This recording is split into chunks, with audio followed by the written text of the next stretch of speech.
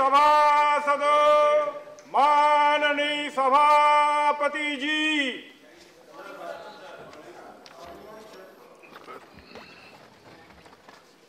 Oath or affirmation secretary general please no no this not the way please no no please this will not go on record sit down sit down please very unfair very unfair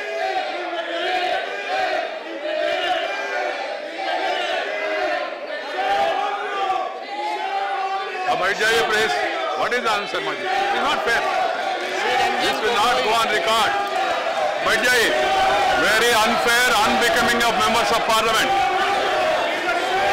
I, Ranjan Gogoi, having been nominated a member of the Council of States, do swear in the name of God that I will bear true faith and allegiance to the Constitution of India as by law established, that I will uphold the sovereignty and integrity of India, and that I will faithfully and discharge the duty upon which I am about to enter.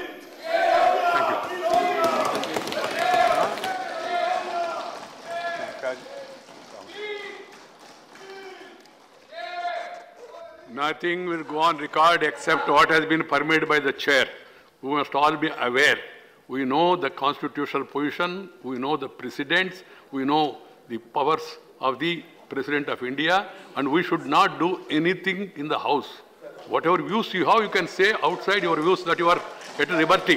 Please, please. Good. Uh, Minister, Law Minister? Sir, No discussion, but I, we want to. this house has a great tradition of many eminent persons coming of diverse field, including of former chief justices being nominated by those who, I regretfully I say, I shouted. The honorable member Gogoi, who has taken No, oath discuss, no today, discussion. Minister, concerned. will surely contribute his best as a nominated member. Right, And it was grossly unfair to do like that. right.